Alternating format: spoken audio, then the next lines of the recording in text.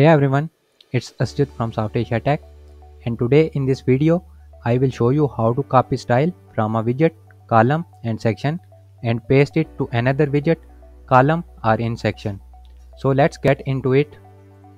Web design is fun but sometimes it can get a bit tedious. We have these icon boxes here and only one of them has been designed. To apply the same design to all the boxes, you would have to go over each one and manually set the design, right? But wait, what if there was a way to take the style from one box and apply it to those other boxes with just one click? Just copy the style and paste. Too fast for you? Again, copy style and paste. Introducing copy style.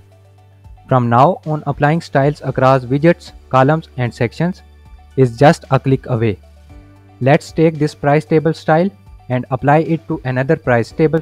So much easier. That's more. Drag and drop is great, but dragging and scrolling can sometimes be a real drag.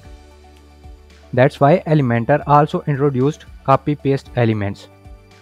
Now you can copy any widget, column or section and paste it wherever you like on the page. Want this section on the bottom of the page?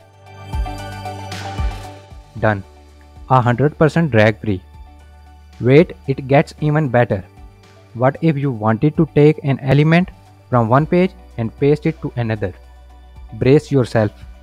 Copy paste actually works between different pages. You can copy any single widget, column, section and even an entire Elementor page. Importing and exporting sections won't slow you down anymore. Just Ctrl C and Ctrl V. Cool right?